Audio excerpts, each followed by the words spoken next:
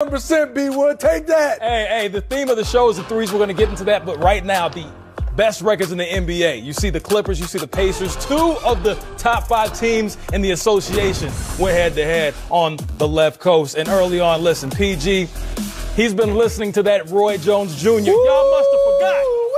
Oh, they gonna remember after that. Ooh wee. Mm, PG13 going hard against his former team. Steve Ballmer is there for it.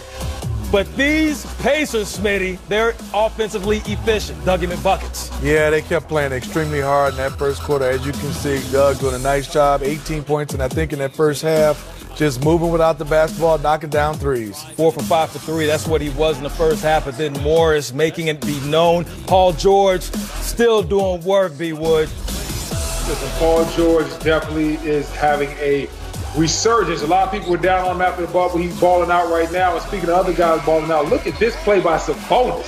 That's just filthy. 19 and 14 in the game. We've seen what he's been, been able to do all season, but we see what Kawhi does on a nightly basis. Man. Ooh, fear the claw. Don't go through your legs, change your direction, make it that quick, make it look easy, Kawhi. Clippers shot 49% from three. They were knocking them down. DJ Khaled says another one. Man, come on. And Kawhi in the right place at the right time. I'm that type of guy. Kawhi, 17 and 7, five assists as the Clippers, the fourth consecutive game, they've knocked down at least 18 threes, continuing to lead the league in three point percentage. Speaking of threes, Kennard, right there, you see him, he had 20. He spoke after the game specifically about their ability to shoot. I mean, we got some of the best stars in the game today, um, guys that can make plays uh, for other guys. So um, we're all confident in, ourselves, and we're and the main thing is we're confident in each other. And you know that's that's how close we are right now. Um, you know, guys are are sharing the basketball. I know, I know we've had some really high assist games, um, and you know we're, we're a really good offensive team. So as long as we, we hang our hat on the defensive end, offense will take care of itself for us. So um, that's just what we're, our, our emphasis has been. Um, and you know, guys, guys are letting it go when we have shots. You know, guys aren't turning down um, open looks, and, and, that's what we need. We need guys to, to step in there and hit some big shots like that. Clippers so far first in the NBA in three-point percentage, fifth in three-pointers made. That's become their calling card, Smitty. Yeah, I like, as you can see, bodies are moving, ball moving. Zubac doing a nice job, understands. I catch it, I'm throwing to the corners. Double team right here, get the ball out of your hand, and you can see with Luke Kennard out there with also Kawhi Leonard, Malcolm Brogdon couldn't leave Kawhi, left Luke Kennard wide open, and he is shooting it.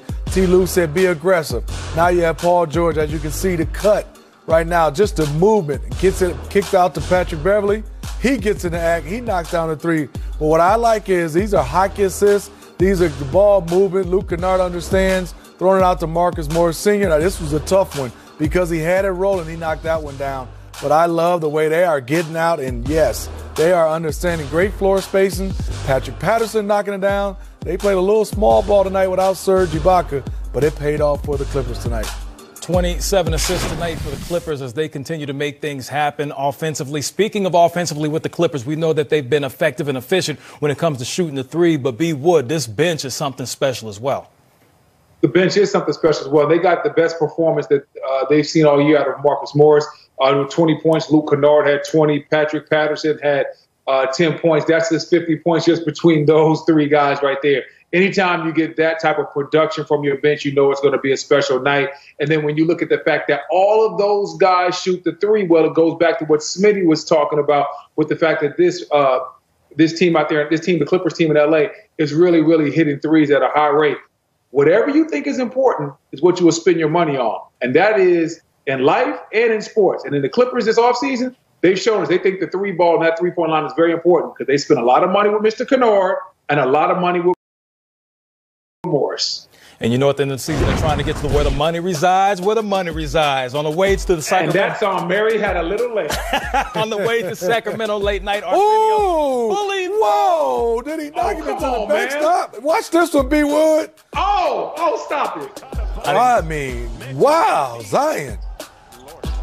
Mm. Bouncing somebody around. Bouncing somebody around. Must have pit, somebody must have pissed Whoa, wait a minute, wait a minute.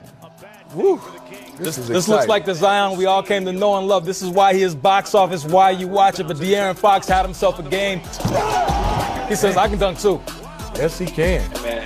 Oh my man, he was. I mean, he was flying for real. For real. That that's one of them old school like dunk contest dunks. No doubt. Don't forget about him. He's an all star. He's a max player. Brandon Ingram, 22, knocking it down from outside, and more of Zion. Oh, he's coming.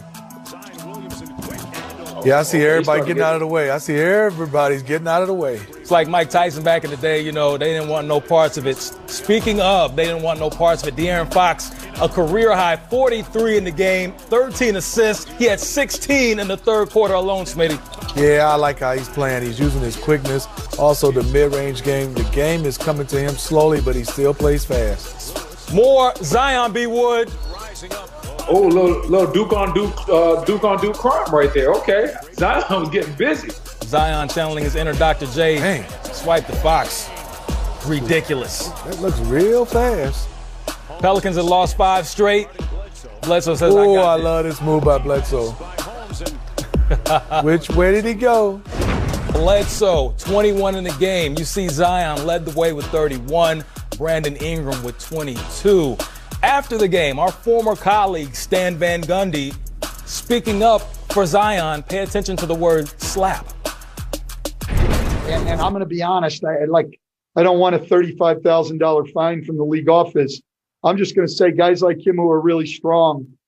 I mean, he probably should shoot twice as many free throws as he does because he doesn't get knocked off balance and fall down and all of that.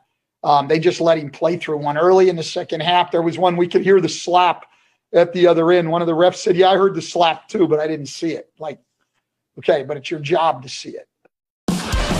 No March. At the ripe old age of 57, LeBron is still doing amazing things. And Dennis Schroeder just lost $100. He said, bet it. And Bron said, give it here, little boy. The rich just keep getting richer. And after this shot, James Harden, KD, and Kyrie said, enough is enough. Let's join forces to beat this guy. By far, the biggest news is the beard going to Brooklyn. So now the beard said, hey, the ruse is up. I'm taking off this fat suit. This trio is going to be amazing to watch. I'm excited. But think about it. Kyrie was Robin. Now is he Alfred? Is he the Riddler? Is he the Joker? And to get James, you obviously had to give up the house. People coming off the bench. Hopefully they don't look as bad as these guys out here playing outside. James Harden heard all that slander and said, hold my beer. Because guess what? He went absolutely ham first game with the Nets. A 30 point triple double. Nutty. The biggest thing about this is that gigantic smile on that man's face. It wasn't pretty, but at the end of the day, got it done. And hey, we look at how dangerous the Nets are, even without Kyrie. Remember when Robert Horry wasn't playing until the playoffs? That's what they're doing at Tacko Fall. This guy is a Boston legend already, shooting bank shot threes and hitting them with the gigantic, super slow mo Euro step. And y'all better put some respect on his name because Tacko's coming for you. Guys, you know, the biggest news, obviously, this whole season is not Harden, it's not Kyrie, it's me, finally. The Cavs have renounced my free agent rights. I have a huge decision with my family to figure out where I'm going. I don't know whether I'm going to go to Chipotle or Qdoba. Please stay tuned. Thank you for your patience. Shouts out to Channing. Put some guac on that Chipotle. Luka. Oh man, December. You know what I'm saying? Wasn't that bad, but January has been balling out of control. 30, give me that Dallas record. A lot better than it was before. Uh, the Mavs down six rotational players. They begin a stretch of five games in seven days. However, the Bulls, they lost four straight, but they are impressive in this one, Smitty. Yes, indeed. Getting out and running. As you can see, Garrett Temple. I love it with Zach LaVine, Coby White, Garrett Temple. They running with speed. Luka knocking down threes. Want to see a little bit more of that. His percentage has been low. Yes, it has. Under 30% so far. Knocked down six in this game. The step back. Oh, yeah, that's true, B. Wood. Oh yes, man. Listen, that's not been a part of his game that's been strong, but he was knocking it down tonight. And when he's hitting that shot, there's nothing you can do with. it. Zach, tough night at the office. One for eight after four straight games of 30. But then Luka going dumb, dancing on top of chariots and turning okay. Wait a minute. Hold up. That's on the Smitty, run. That's got it. That's got to be the number one play on top five plays. ever on this Luka the week's Smitty. Don with a cigar. How do you defend that? You don't. Lauri Markkanen.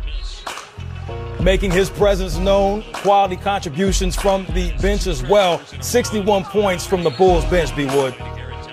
Listen, and that's that's what it's all about. It, they can't just sit around and wait for Zach LaVine to score 30 every night. Other people, other guys on that team have to step up. And tonight, it was the whole Bulls bench. Lauri Markkanen, a season high 29 in the game, along with 10 rebounds. Luka, the youngest player in NBA history with a triple double of 35, 15, and 15. Oh, and by the way, he surpassed Michael Jeffrey Jordan on the all time triple double list while wearing those 23s. Luka this is a lot of words to say that Luka is good and he puts up numbers very quickly. In his 11th game of the season, he already has 300 points, 11 rebounds, and 100 100 assists. Like I said, a lot of numbers. All it says is Luka is really good. So we're just looking at what Luka's been able to do. Down six players. Obviously, shorthanded right now. Mm-hmm. But once they're back healthy, how dangerous is this team in the West, Smitty? They're very dangerous because I love the way the other guys are playing, and they all fit. I mean, all the guys are sitting out, they play their role. And with this guy, he gets some easy shots. Porzingis obviously is the key. He's starting to look like he's shaping back into form, but Luka Don right here, I mean, for a guy to have this type of skill set and command of the basketball right now, the command of his team, it's a treat to watch somebody that size being able to handle that way. Because I always say when you're a big point guard, if you never turn your back, that means you have handles. He definitely has handles. B. Wood, is he going to be in the thick of the MVP conversation once it's all said and done? It really comes down to how many wins the Mavericks have. We know his game is going to put him in there, but when you look at the MVP, it's always been a combination of the guy with the best stats combined with the most wins. And right now, Dallas is lacking in the wins department. If Luka can get up into the top three in the Western Conference, he can possibly be the MVP. But if not, might be looking maybe at old man James. Mm, speaking of old man James, nice segue. I'm so Brooklyn. We needed opportunities, so we took them. So you missed his historic 30-point triple-double with the world's greatest leaders and Dr. Martin Luther King. Five games in our family of networks. Closed out the night with the Lakers and the Warriors. All times are Eastern. And for a look at the rest of the week from a fantasy perspective, here's Kelly Stewart with the Weekly Six.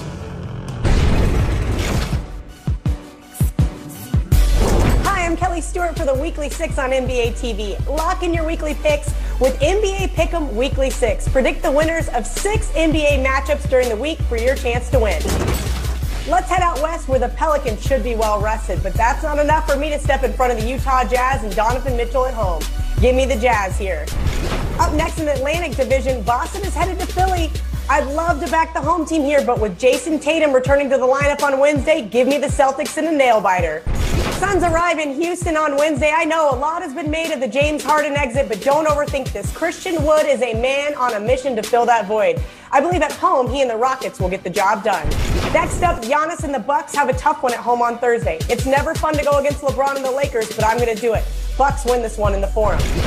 I would love to give the Pels a shot to pull an upset in Utah, especially after just facing this team on Tuesday. But they have some kinks to work out until I can back them on the road. Jazz again for me here. And last but not least, an exciting one in Brooklyn as the Miami Heat head up north. Lots of love for the Nets with their updated roster, but I do believe they need some more time to gel. I'll take the more complete unit here with Miami. Don't forget to make your picks at NBA.com slash weekly six for your chance to win. Good luck.